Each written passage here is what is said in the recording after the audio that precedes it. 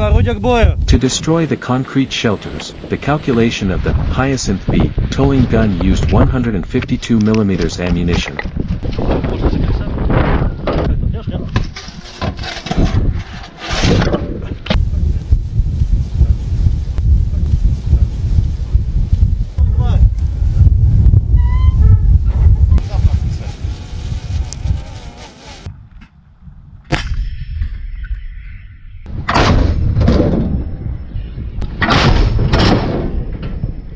The Ministry of Defense of the Russian Federation has published records of the combat work of the artillery crews of the 20gun Hyacinth B of the Artillery Brigade of the Southern Military District, SMD, in the Special Military Operations.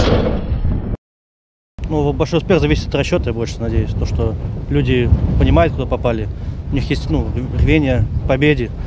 И все выполняют грамотно. Особенность на этом орудии работы, ну, дальность, дальность. Дальность стрельбы хорошая очень. Это очень большой плюс в артиллерии. То есть почти можно быть, находиться далеко от врага и бить по почти по тыловым э, силам противника.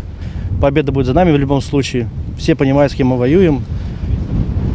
И, как бы сказать, ну, все серьезно относятся к этому делу, подход. То есть любую задачу мы выполним. During the counter-battery battle, the gun crews attacked identified firing positions of the artillery of the Ukrainian nationalist armed formations, redoubts, and long-range firing points of the militants far from the line of contact. To destroy the concrete shelters, the Russian artillery used 152 mm ammunition. Control of the destruction of enemy objects is carried out by calculations of incorporeal aircraft.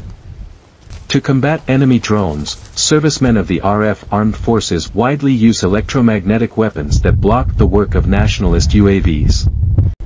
Success depends on calculations. The people understand where they are, they have the passion to win, they do everything competently, said the gun commander with the call sign, red.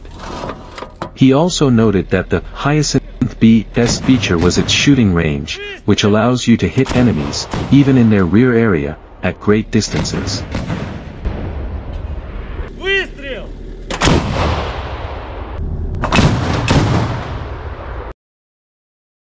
Earlier, units of the 57mm S-60 anti-aircraft guns of the Kostroma paratroopers destroyed Ukrainian nationalists who were digging in the forest.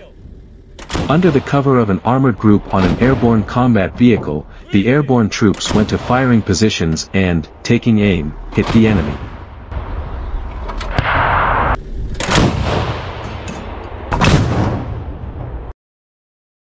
After that, the calculation of the anti-aircraft installation rapidly changed its position. The material was prepared by Maxim Kryakov and Nikolai Baranov.